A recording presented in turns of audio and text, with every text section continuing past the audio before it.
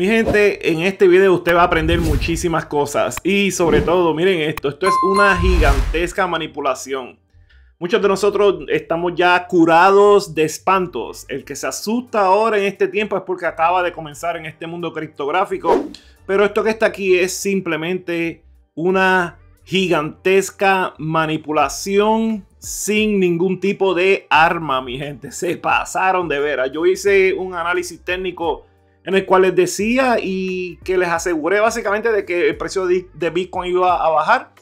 Pero esto que sucedió aquí es simplemente por una noticia que se las voy a compartir y les digo, van a aprender muchísimo en este video, mi gente. Vamos a comenzar a darle duro a las noticias y luego vamos a darle duro a los números. Familia, y la noticia que produjo este movimiento bajista en todos los sectores económicos mundialmente es esta que estoy compartiendo con todos ustedes. Y la traducción dice así, dice, la Fed va a aumentar los intereses agresivamente en los próximos meses, dicen los economistas. Mi gente, esto lo que a mí me da es gracia. Y usted me pregunta, Luis, ¿por qué te da gracia? Es bien sencillo. Si existe un país en nuestro mundo que está en graves problemas es los Estados Unidos, mi gente. Los Estados Unidos tienen una deuda gigantesca que básicamente no pueden pagar y Estados Unidos se, se endeuda gigantescamente por segundos y mientras usted lo compara con el ingreso que recibe, ese ingreso que recibe es muchísimo menor a la deuda que ya tiene mi gente. Pero eso va a ser otro video que luego les voy a estar eh, compartiendo. Pero vamos a enfocarnos en este párrafo que está aquí. Este que está aquí precisamente. Y la traducción dice lo siguiente. Una gran mayoría o de 85 a 102 economistas pronosticaron 50 puntos básicos en mayo. Y usted me va a preguntar, Luis, ¿qué quiere decir eso? 50 puntos básicos de aumento. Eso lo que quiere decir es que van a aumentar solamente medio por ciento, o sea, 0.50%. Y la noticia continúa y dice, una sólida mayoría de 56 dijo que la Fed seguiría con 50 puntos básicos también en junio. ¿Qué quiere decir esto? Esto quiere decir que en mayo ellos van a aumentar la mitad de un por ciento y en junio ellos van a aumentar otra mitad de por ciento en junio. ¿Ok? Esto es solamente una movida que se le llama hawkish. Una movida que se llama hawkish y la otra se llama dovish. Ahora les voy a enseñar lo que quiere decir esto, mi gente. Familia, este infográfico tengo que compartirlo con todos ustedes. Es sumamente educativo. Estas son las dos movidas que utilizan los sistemas monetarios. Y este lado es el lado hawkish y este es el lado dovish. ¿Qué quiere decir esto? Esto es simplemente para fortalecer la moneda, la economía. ¿Y qué hacen? Aumentan los intereses. Y cuando aumentan los intereses, lo que hacen es que el sistema monetario se contrae, ¿ok? Y el objetivo es simplemente reducir y controlar la inflación, que yo lo dudo. Estamos ahora en unos tiempos que es sumamente difícil el controlar la inflación, mi gente.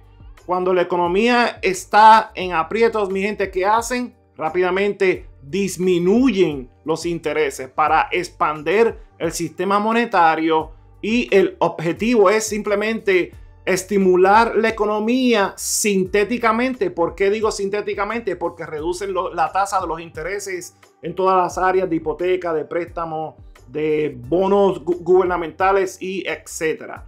Este infográfico está buenísimo, mi gente. cada vez que usted escuche el término de hawkish, ya usted sabe lo que significa y sus objetivos. Y cuando utilizan el término de Dovich, ya usted sabe por qué lo hacen y cuál es su objetivo. Ok familia, esto que les estoy mostrando aquí es un infográfico de el bono gubernamental de 10 años de los Estados Unidos y va a la historia a 54 años atrás. Quiero enfocarme exactamente en esta fecha, en agosto 31 del 1981, cuando un bono pagaba el 15.51%. Esto es algo sabrosísimo, mi gente, que usted se esté ganando dobles dígitos. 15.51% y para ese entonces la inflación estaba en los 2-3%. Pero miren lo que ha sucedido. Ha sucedido que está en un movimiento, una tendencia bajista exponencial, mi gente. Miren esto. Y se va a mantener de esta manera, mi gente. Pues ellos lo que están aumentando es la mitad de un por ciento que lo más que este bono va a llegar, escuche bien, es casi a lo mejor un 4%, básicamente aquí a 4.8%, que eso sucedió, la última vez que sucedió fue en enero 29 del 1962. Y si lo traemos aquí a la historia, pasó en marzo 27 del 2006, 2007 y luego de ahí comenzó a descender y jamás en la vida los bonos de Estados Unidos han podido componerse y volver atrás a ese número de 4%, a esta área de aquí, mi gente. Les garantizo que esta movida hawkish es simplemente un fronteo, un bluff, como el juego de póker. Ellos están aparentando algo que no pueden hacer, mi gente. Y por esa razón yo estoy tan optimista con las criptomonedas. Ahora les voy a mostrar una última noticia que encontré sobre las criptomonedas. Ok familia, aquí les comparto esta noticia que es sumamente importante para el mundo criptográfico. Mi gente, si usted no está claro con este argumento, necesito que reflexione y entienda lo que le voy a decir. Bitcoin es el que manda y si Bitcoin baja en valor, el resto de la manada va a bajar en valor. Si Bitcoin sube, el resto de la manada va a aumentar en valor. Este título simplemente lo que quiere decir es lo siguiente el 72% de los asesores financieros que gestionan nada más y nada menos que 26 trillones de dólares van a invertir rápidamente que sea una realidad el ETF Spot de criptomonedas. Sabemos que tenemos el de futuros, pero el que estamos esperando es precisamente este, el del Spot. Mi gente, vamos a darle duro a los números que le preparé una tabla de Excel.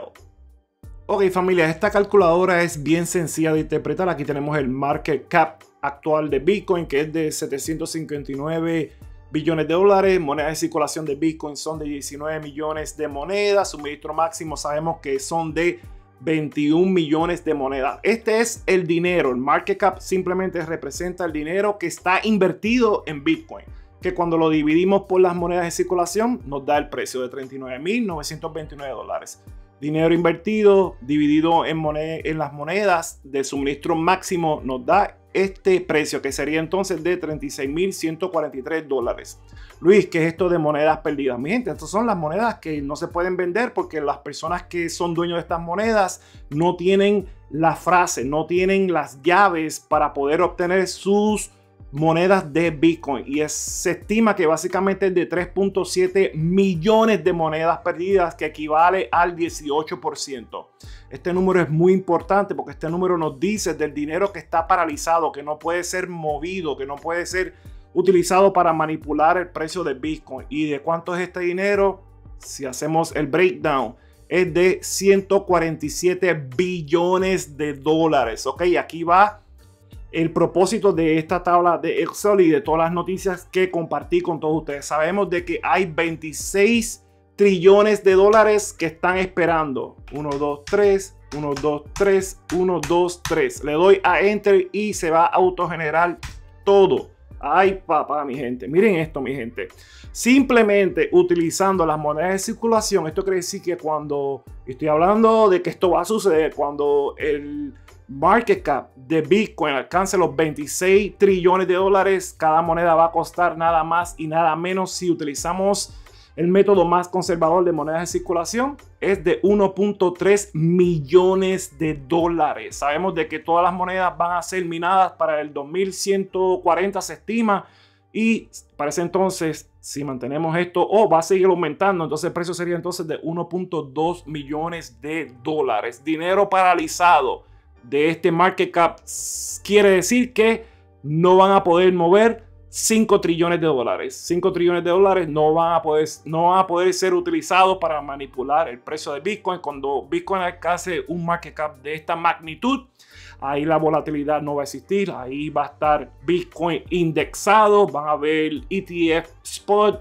y van a utilizar a Bitcoin para las pensiones, para seguros, para sistemas de, los gobiernos, eh, eh, monedas eh, que sea como estaba utilizando ahora mismo El Salvador como de curso legal y muchísimo, mi gente. ¿Qué ustedes piensan de este análisis? Les llevo diciendo, deben de acumular por lo menos 0.10 de Bitcoin, pero Brandon Green, que él es el Chief of Staff de Bitcoin Magazine, él está aconsejando que simplemente tienen que, acumular 0.0001, muchísimo menos de lo que yo estoy diciendo. Ok, mi gente, gracias por el apoyo. Nos vemos en el próximo video. Bendiciones, éxitos y peace.